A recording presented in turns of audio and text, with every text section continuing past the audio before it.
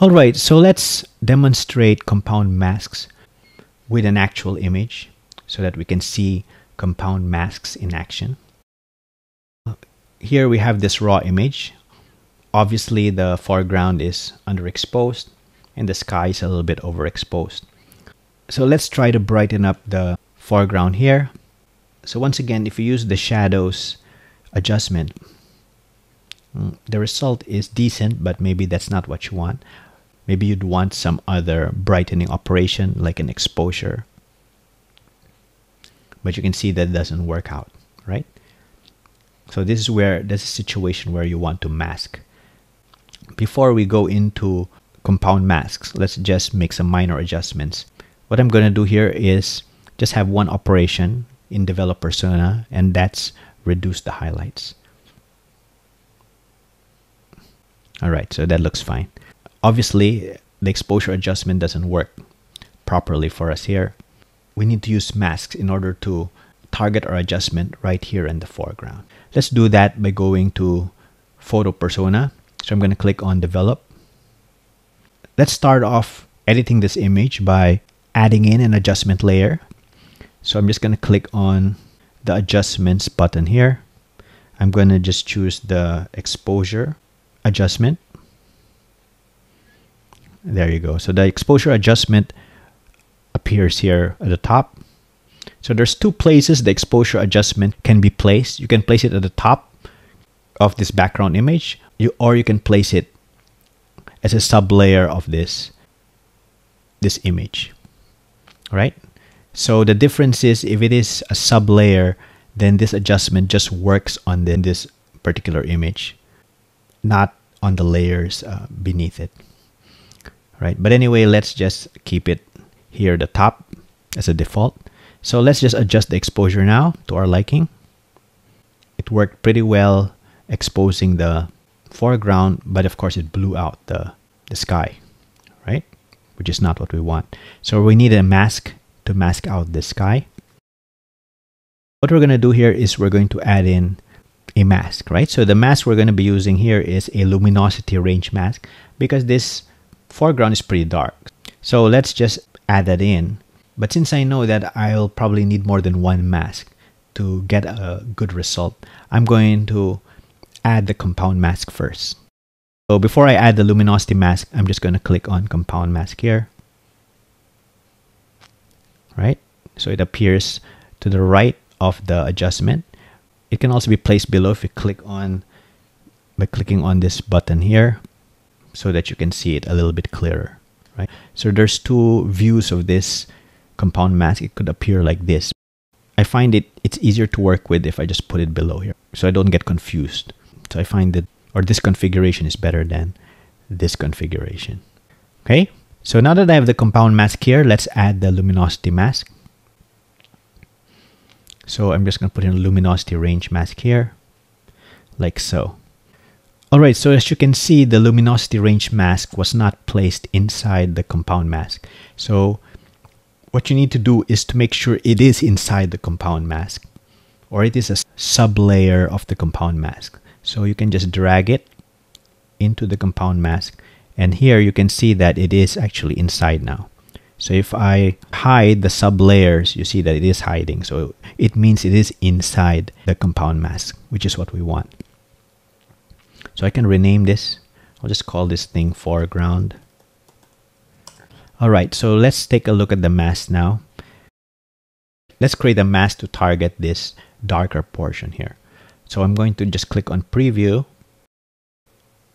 and then I'm just going to drag it like so. So we set the curve to be in this form so that the darker areas will be in white, which is what we want because we want to target our adjustment on the foreground, on the darker areas, right? So as you can see from this, it is doing a proper job, but maybe we can just brighten it up a little bit. So we can adjust this curve now to brighten this mask, right? So the adjustment will really take effect. Now we want to darken the sky so that this portion here will not be affected. So what you want is the foreground to be totally white and the sky to be totally black But as you can see, there is a limit to how much we can darken the sky. So even if I lower this by a lot, you see it, there is a limit. So as you can see, it does not darken the entire sky, right? But this is a pretty good mask. Let's just see the effect. Okay, so I'm just going to do my exposure adjustment now.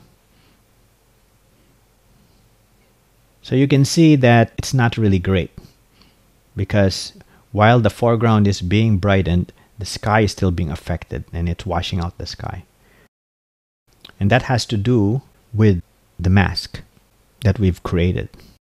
What we can do now is to add in a second mask to turn this sky area into black. So how do we do that? So let's create another luminosity mask here. Okay, we've created luminosity mask. Let's just add this inside the compound mask.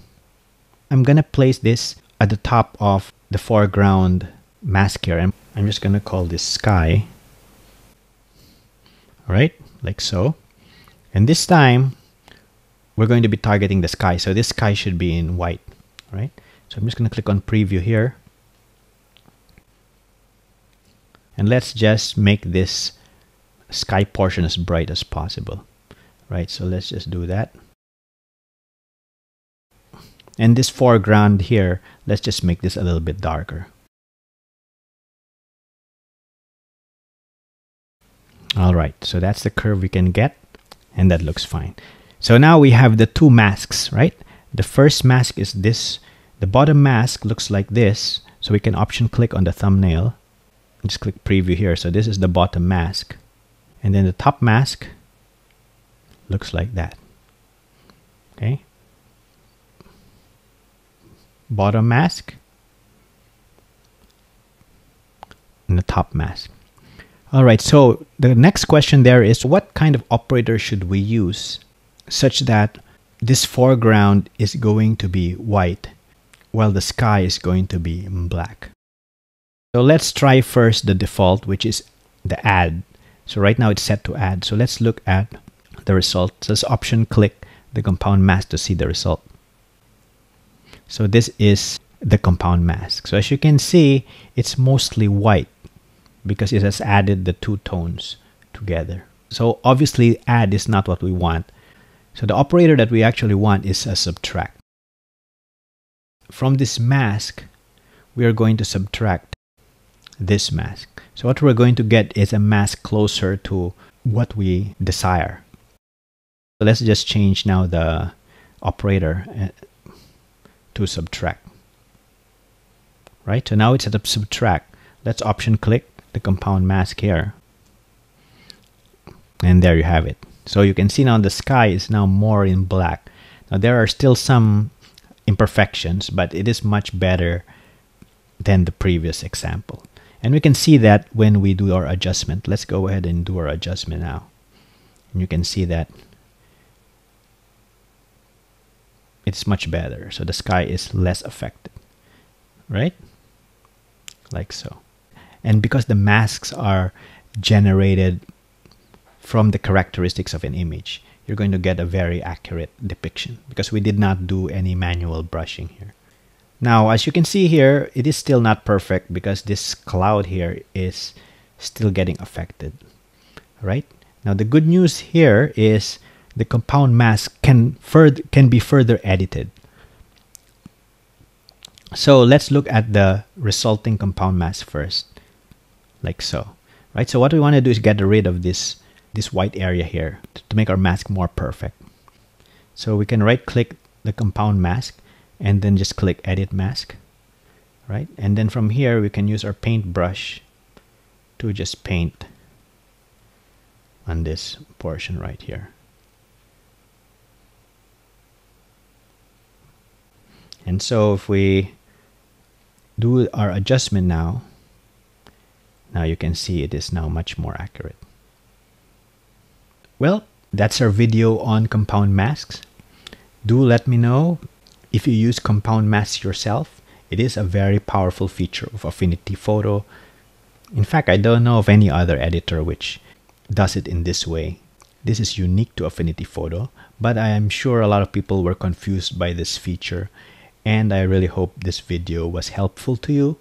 This is just from my own tinkering with Affinity Photo and my knowledge of masking in general, right? So I hope you really found this video helpful. And if you did, I'd really appreciate if you like, subscribe, and share this content to help keep the videos coming. And till the next video, I'm going to see you in the next one. Bye for now.